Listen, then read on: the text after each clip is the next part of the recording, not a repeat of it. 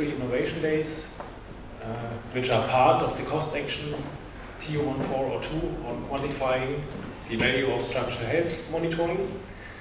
I'm extremely happy that we have been uh, organizing this event and I'm extremely happy about the uh, support by by Helder Sousa, and I would also like especially welcome Antonio Sousa as an executive board member of BRISA. So, uh, and uh, we are most, uh, most of us are physically here, but uh, there's also one guest to be introduced also later, Jochen Köhler, who you may have just heard saying hello. Uh, this is Jochen Köhler joining via Skype. Uh, but uh, later something more. Uh, we will be working through today the case studies, but after after the welcome, after the introduction of the cost action, after uh, some words on the case studies, which uh, role they are playing, then we have the individual uh, case study presentations. We will have a panel discussion afterwards, and Day one is then concluded with a uh, networking dinner for which you are all uh, welcome and we can continue our discussions then more informally. Uh, on day two, we will have a um, standardization perspective uh, where we are introducing our activities and maybe they, may, they should be complemented with something more. We will try to explore that on day two, and uh, the last part of day two relates only to our cost action uh, TU1402, where we are working on uh, integrating the input which uh, we have collected from these two days directly to our activities. So this was a short overview. Uh, again, uh, welcome, and I would like now to give the word to Antonio Sousa, executive board member of uh, BRISA, and we are uh, extremely happy that you joined. Thank you. BRISA was created in 1972. It's uh, one of the oldest companies, uh, concessionaires in Europe, in line with the in the in line with the other concessionaires in Italy, France, and Spain. In fact, in fact, uh, we have a, a, very good footprint. We managed six concessions uh, spread by uh, 19 motorways, about 1,600 kilometers, and uh, which means more or less 40% of the network in Portugal. But in, in terms of toll revenues, we have a market share of 50%. Our network uh, is, uh, as we, we said, the, the backbone of the system in Portugal. We are from the north to the south, and uh, um, we run this, this concession the, the main concession uh, for 45 years. So the shareholders are the um, availed Portuguese group, family group, um, with um, with roots in industry um, and uh, with business in healthcare and uh, chemicals. And uh, the second partner is um, uh, a fund uh, that you, you, may know, uh, Arcus. Our, our figures are very good. We are the, in fact, the, the bigger operator uh, in Portugal. Uh, slightly above the ANA. ANA is the uh, airports operator. Uh, the, the, the, we grew 6% um, this year, so we are in the in a good in a good way. and our portfolio uh, is uh, like this. The we run everything uh, in these six concessions, except, except uh, in Auto-Estradas do Atlântico, that we only do road assistance and uh, maintenance of the equipment. For the, the other five, we we uh, we do a complete operation. Uh, these secondary companies uh, provide services to the, the, the concessionaires. And I will talk briefly about Brisa Operação and Brisa Gestão de Infraestruturas. In fact, they are the responsible for operation and maintenance. We have this uh, separate in two companies. The operations company is uh, centralized at the Operational Coordination Center, is a big structure that we develop by our own technology and we centralized everything about operations in this building. It's very, very impressive. The other company that matters for today is Brisa. Um, management of infrastructures. It's uh, BGI. So this is the figures that uh, that company runs, and we have, as you can see, more than 2,500 structures, um, 1,300 gantries, and every, every other equipments. We have a complete program of monitoring for everything that interests in the that matters in the in the uh, highways, and I don't borrow this. And our ambition today is create a real asset management system. We are now concluding the, uh, the design phases. And by the end of the year we start with implementation of this system uh, with a complete catalog of the assets with the integrated vision. It's not, we have some management systems for structures, for bridges, for uh, pavements, but they are independent. They don't talk uh, with each other. It's not, this is not good for a, a, a very healthy management. So we need a, an integrated vision for the, the assets.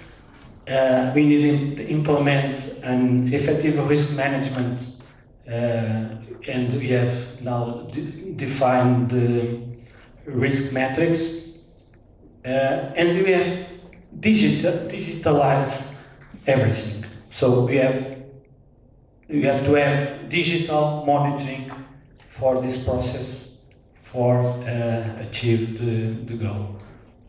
The idea is reinforce a culture of maintenance. It's very important.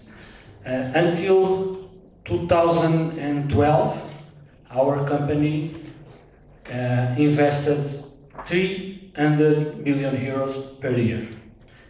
New, new projects, new designs, new bridges, new motorways. It's, uh, uh, I, I, I, used to joke with my engineers saying that uh, it was a time of uh, open bar.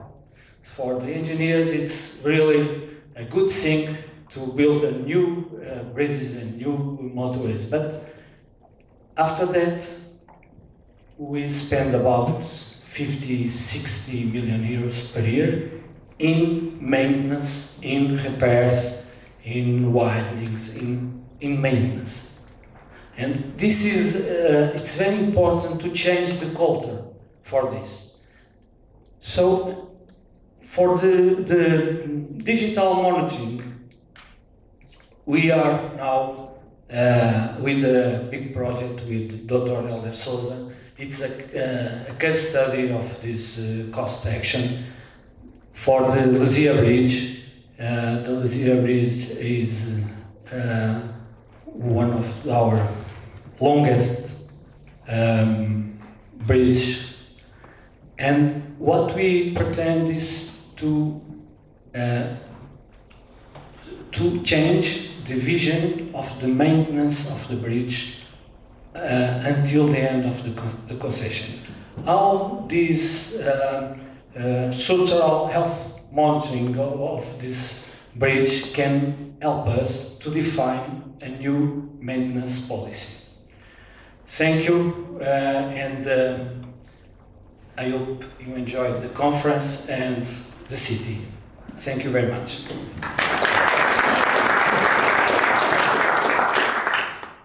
Just to, to thank you, Antonio, to be here. I know these people from the executive board and a full agenda, so it's uh, a pleasure to have here. And I think it was very valuable to see, which I think is the scope of this uh, small workshop, mainly bringing these decision maker people with their uh, concerns, their priorities, to share with this community, so our researchers, so we can bring some bridges in terms of benefit. So in this context, as Sebastian said in the beginning, uh, under the scope of this cost action, quantify the structural health monitoring, we came up with a concept, we call it Industry Innovation Days, uh, which is being organized and led by myself, Jochen Köhler, that is uh, online, I think, uh, Maria Pina, which is here, Sebastian Thöns, which is the chair of the action, and Wim Courage is also here. So we are trying to figure out a little bit how we could have a small strategy here to better communicate with these decision makers, yes? So what I will present briefly is the concept to this audience, and I hope that is uh, might be something that triggers you from the industry side to better engage with us, because I also believe that today and tomorrow, the teachers, the lecturers for this workshop uh, are not we, it's you, the decision makers that should share with us what you want from this construction or how this construction could help you, as Antonio Sousa said, for example, to have a better maintenance, uh, better strategies to get higher efficiency levels in terms of uh, budget, I would say. So basically, very briefly, I will outline the objective, the concept, uh, and then what it contains in terms of, uh, of these industry mission days. So the bottom line came, this is a nice bridge, which in fact is the Lezíria Bridge, the case study from Brisa, just to illustrate, sorry, to illustrate that this is a big structure, so there are issues about maintenance, about repairs or whatever. So, and then we have a lot of information, I will show you also for this bridge, about, uh, we have a finite element model, for example, for this bridge, very refined, a lot of information, either from a numerical analysis side, as also from the monitoring side.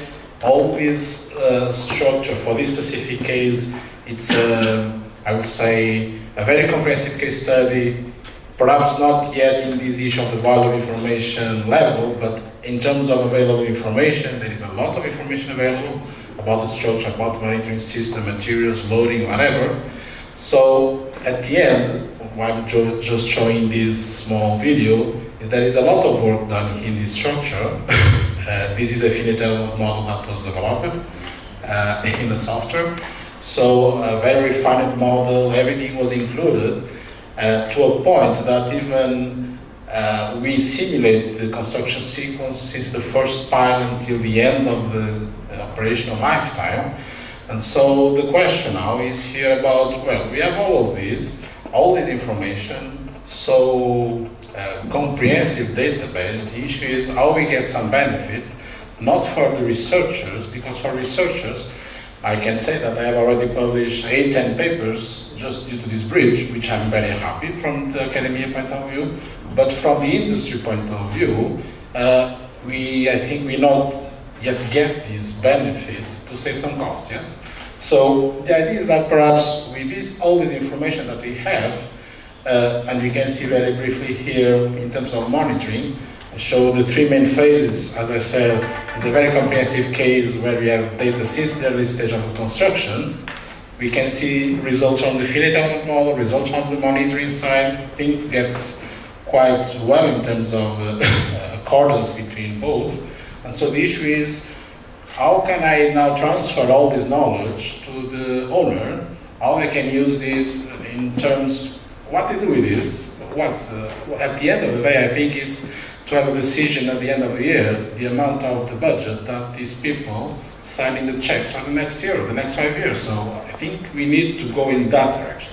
And in that context, these industry innovation days, um, and in the construction, we've been working uh, with the experts on the value of information, setting up a framework that is able in certain way to answer these questions, mainly in the perspective of what is the benefit in terms of cost. So a lot of information is included in this framework. I will not take too, too much in details, not to propose this presentation, but you can see that we have information about uh, the knowledge about the decision context, information about the assets, in this case, as an example, I use the zero bridge.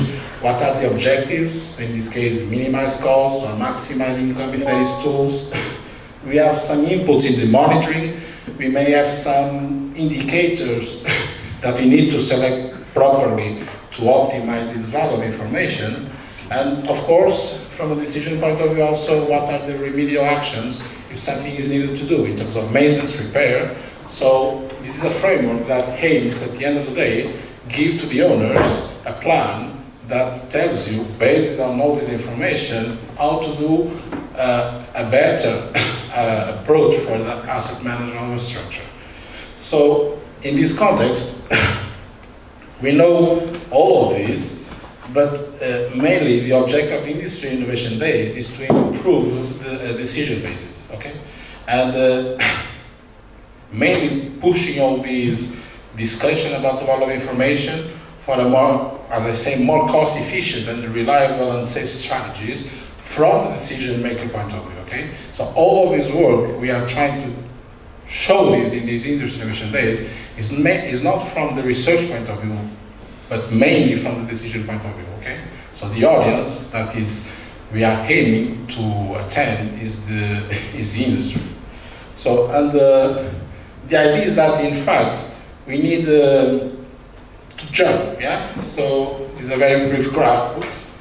Uh, so there is a lot of work in academia, and we know that there are some spin-off startups that do a lot of monitoring, new sensors, new systems, but in fact we need to push this very to the society level, where in fact we can, let's say, give a payback to these decision makers that they want or they wish to invest better, and so we as experts should at least try to help them to do better decisions by improving mainly the level of technology that is being applied in the, on this framework. So we are aiming that with these case studies that we have in this construction, of course, each one has their own specificities, the degree of maturity, but the objective is that we reach to this level that we may have some system prototypes effectively demonstrated in the field, like a product in terms of, okay, we are giving evidence that these case studies that we are discussing here, that were selected based on the good knowledge that they can offer, that in fact we have a level that, uh, a maturity level that gives confidence to the decision makers to use them, to invest. So when they decide the budget, perhaps you can have a small budget to invest in. This is the main concept. So, and how this should be done.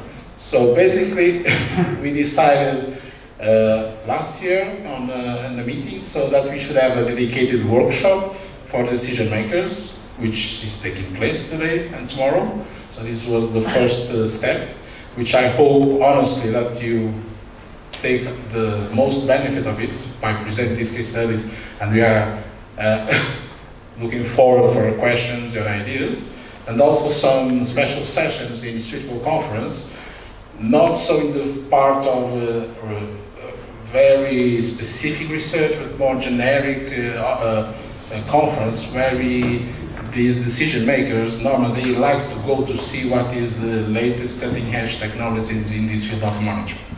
So in this, we are aiming at the end of these Industrialization Days, composed by these two uh, events, that we may be able to do a step forward and translate these value of SHM terminology, which is quite uh, sometimes complex and dense in terms of um, the technique itself, to something more practical decision making for your side in the industry. So, in the workshop, which we are taking place now, our objective is that mainly getting your feedback, what is your expectations, your expe experience, even your frustrations in using monitoring products. It's good to know what is something that went bad, good, whatever. Uh, uh, and this also would be served as um, a step forward to reach to the end of this construction, saying that, okay, we have these, these case studies that we are uh, trying to explore the value of information on structural monitoring, but with this uh, workshop and these sessions, we can also say that this was also discussed with the real world in terms we approach the decision makers, we present these, and we got their impression, their feedback, what they feel, and we, as far as is possible, take this feedback into the case study analysis. Okay? I think we bring more credibility, um, a robust solution, and all of us in a win-win partnership wins, I think. So we will have also, as I said, this workshop and just to get you in advance, there is two special sessions in uh, two conferences, this year and the next year, which is the APS conference. We selected this conference because it's quite generic.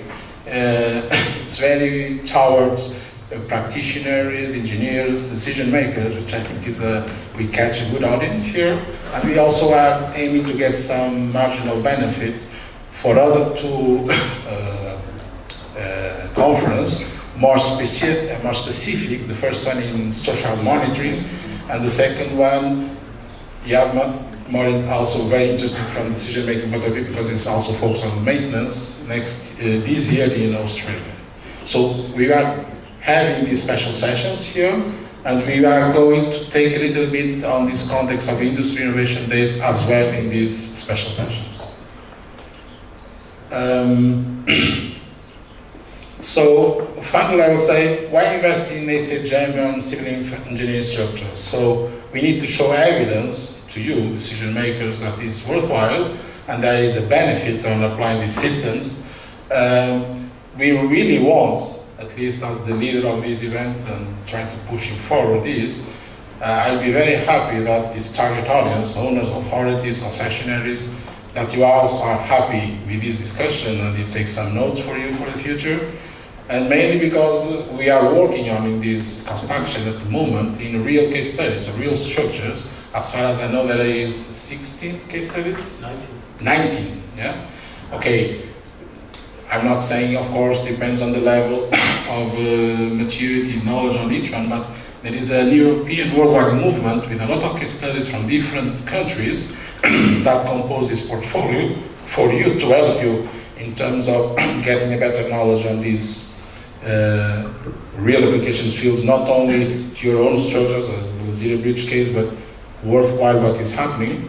And okay, as I said, uh, it will be very nice as well that, for example, in this, uh, this special session that will be in France, that we could have a formal joint collaboration between academy and industry, maybe, for example, as a joint paper, where you, as a decision maker, could go to the conference, perhaps present the problem, and then there is your uh, colleague that tries to solve and present a solution for uh, your problem. Okay, so this has been already closed, the, the submission of the abstracts. We succeeded with 12 abstracts, and we are looking forward in November, uh, September this year that uh, hopefully if you are there and also see a little bit more what we are working on.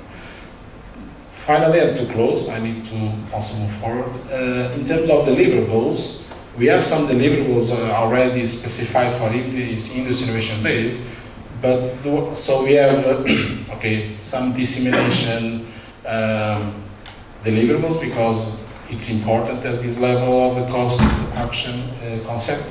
But one that uh, I will highlight in this uh, workshop and uh, we want to discuss with you as well as an output is what I call here a technical recommendation uh, to support uh, owners in a potential renegotiation of the contract terms with the local authorities.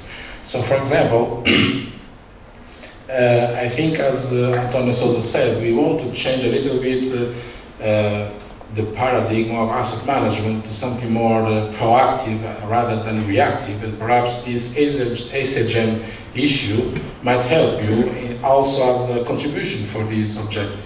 So what we are trying to work, and this is also something that we will discuss during these two days, is that we are working in a technical recommendation that is a draft, an idea, so basically something that could be a very short document, uh, mainly towards decision makers. We would like to have your help in, in the writing side of this document because it's a top level document that will take, extract, the, let's say, the most uh, significant outputs from this cost action, from the guidelines that are being prepared, summarize this in something very short, up to four pages, I would say like this, no more than this, and then a second part, like a re request form, that, for example, a bridge owner uh, that has a structure that he wants perhaps renegotiate the, how they do maintenance on that structure, they could, uh, with this document, which has some, let's say, credibility,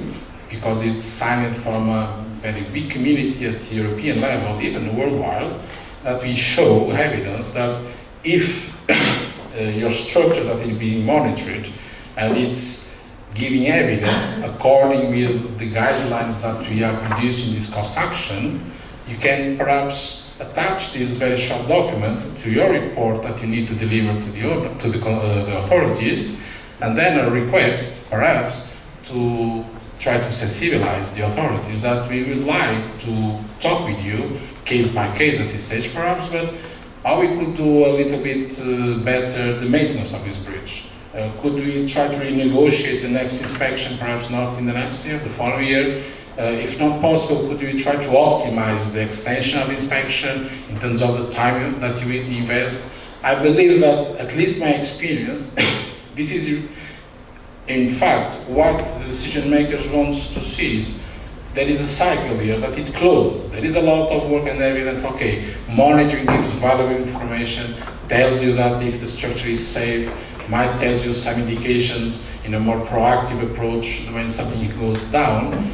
But also it's also a thing that we need to move forward is to change the paradigm in terms of asset management. So what we are trying here also to produce, this is under discussion and open to the audience, is trying to produce a very short document as, a, as something that if the owner wishes to ask for a renegotiation, he can download this from the cost website and uh, according with the guidelines, if there is evidence, they can attach this to a technical report, submit to the authorities, and try to speak with the authorities maybe to see if we can change this.